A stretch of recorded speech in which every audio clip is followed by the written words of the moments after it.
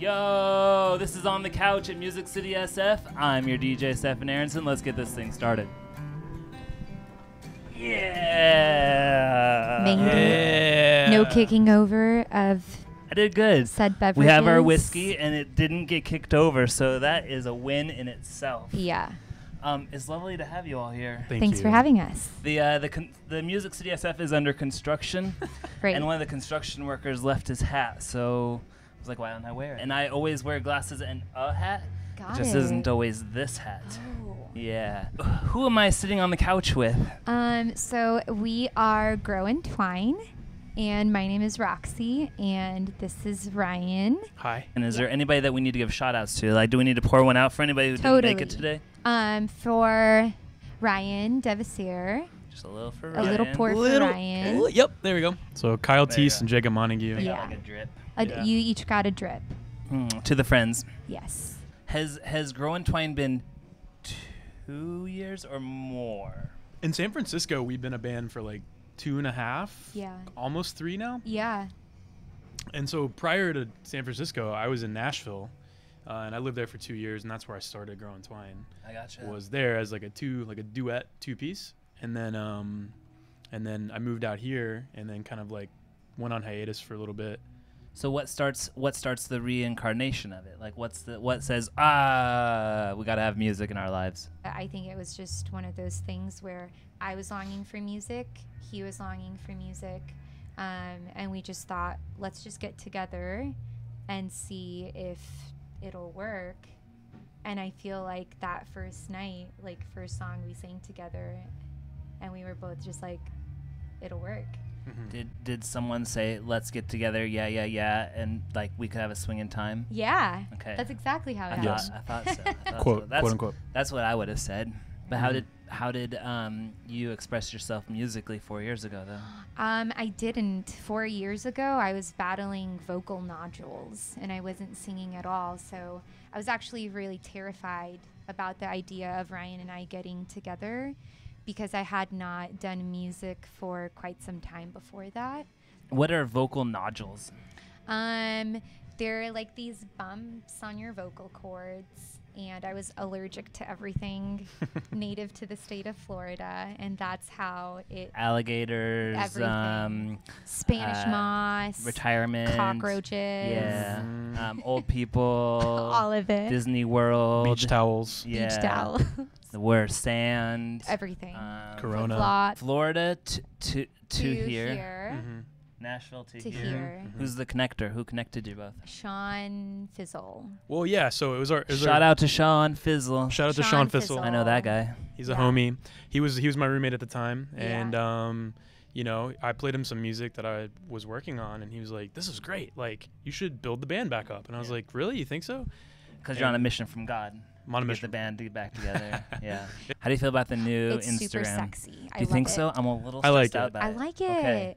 It's the first update of Instagrams that like I saw it and I thought, ooh, I like this. Do, do we thank Facebook for that, or oh my do god, I think so. Think so. So that means they're gonna change it again in six Oh, months, and we're gonna have shoot. to like stay up to up, Mm, up on it. mhm. Do you use Instagram for the band and for your nice suits? And we can talk about your suits in a second. um, yeah, yeah, yeah. We just kind of use it for everything. I mean, it's just the easiest. It's especially now where Instagram added like this, like the switching of accounts feature.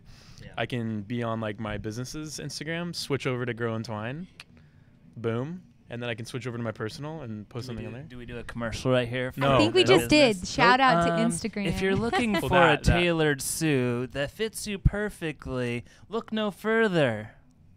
This is where you drop in your little Taylor's Keep. Taylor's Keep. tailor's key. I got suits for you. I got suits of all sizes. Our suits last forever, Forever. ever, as long as you don't gain weight. So I could get I could get buried in it. Marry Married him and and bury him. Okay. I want one of them suits. you got them? How we do? Okay. I'll I got take plenty one. of them. Yeah. Come on down to K- Taylor's Keep. We got plenty of suits you can get married and buried in. I'll play you a song too while we're while you're there. Oh, that's right. This is a music interview. right. I have a question then. Uh, se- segue into friends or bringing back our friends. Yeah. Um, uh, we had uh, Corey Tees in here recently. Oh, nice, Oh, nice, nice. And he and I talked a little bit about like homies and people that Yeah. like kind of run in the same circle.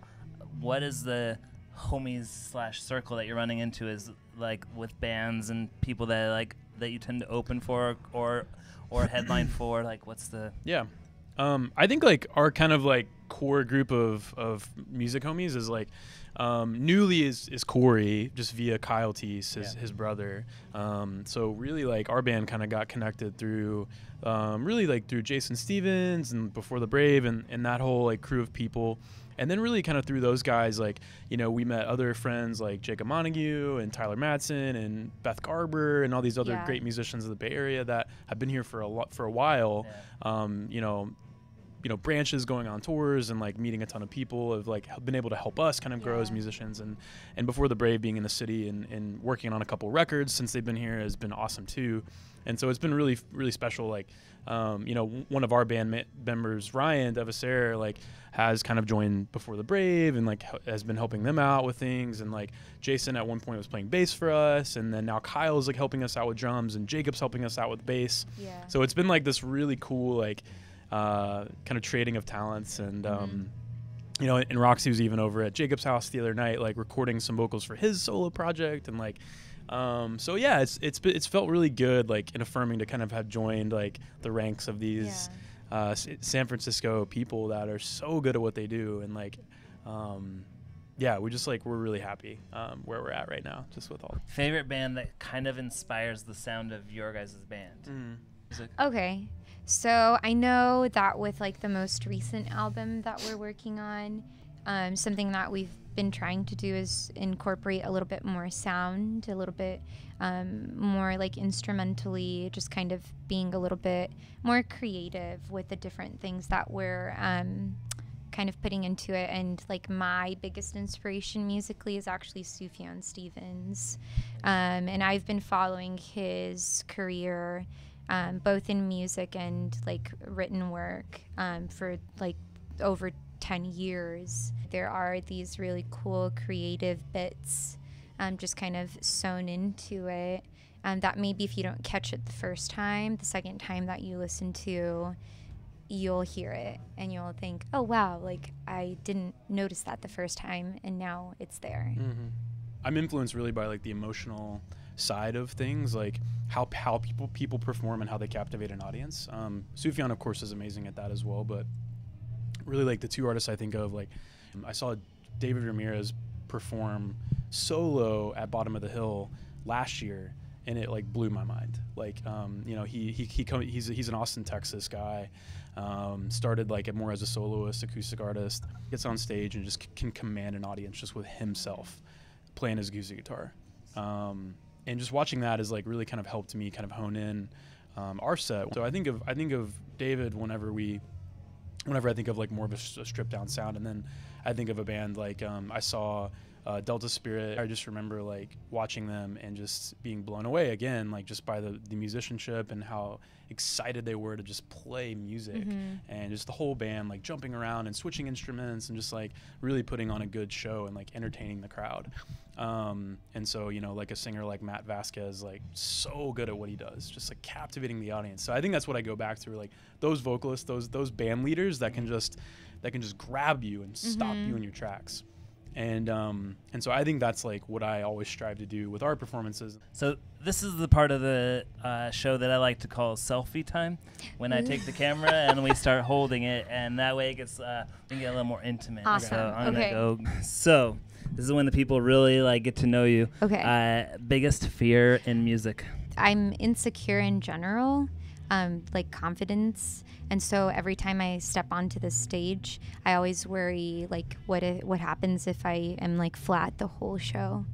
Do you have a trick that you use to uh, well, sort psych of. yourself out or something? Um, I always have to go to the bathroom before we get on stage, That's a- I and mean, I don't go. That's good advice always. Well, and I don't Okay. go because Does then I have something to think about, Oh, ooh, okay. right? Like I need to go to the bathroom.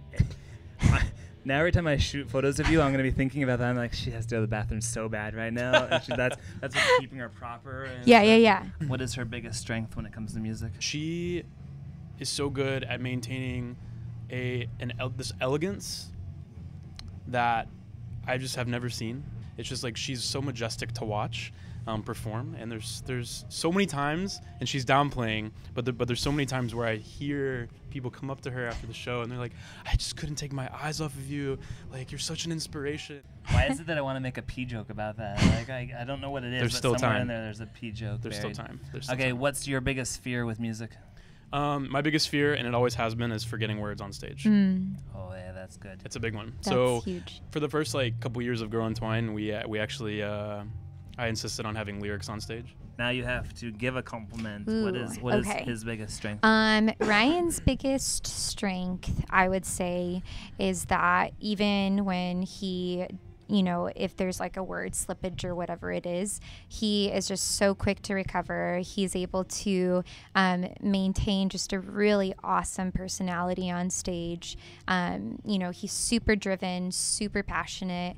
Um, always so much energy. Sometimes the hat falls off. He just is able to establish a really awesome um, kind of like relationship with the audience. Uh, what's your uh, one year goal with uh, Grow and Twine? Um, From one year from this point, yeah. Yeah, one year. To have a let's do it. finished Yeah. album, have a finished album. I want us to have the finished full length. Okay. Um, you know, I, I would love, I would love to do like a legitimate tour. Like, I would love to What's do like, you know, like like a month, like just like Okay. a month, like go travel, like you know, How far what- do you go? um, do, just do it Different places in the country. Do it all. Yeah. Yeah. Like but Nashville. US, US tour. Yeah. Um, Nashville would be cool. Yeah, yeah, it would be it would be cool. I mean, like I would love to do like a couple legitimate like music videos. The East Coast is gonna be the hard one. East Coast is going to be a tough one. Well, we have friends that we could We stay have with, friends. and, you know, We have got friends. We have friends. We have lots of friends in Nashville. we have Nashville. friends. We have friends. we have friends in New York, and we have friends Yeah. in Austin. Yeah. So. And So if you want to be our Yeah. friends, we'll take you. We love Yeah, new if they want to be your friends, like where do they find you on the social media? Um, you can find us on Facebook, Instagram, and what's the other thing? Twitter? Uh, we don't. No, use we it. don't really use Twitter. That's We a a- lie. we have a Um, website. you We're on can- Oh yeah, we have a website, and I think everything is just grow and twine, Nice. and then we should pop up. Yeah. Nice. So this sounds doable to me. Hey, this is on the couch at Music City SF. We're gonna drink some whiskey now and just cheers. chat off camera. Thanks for tuning in. Thanks, guys.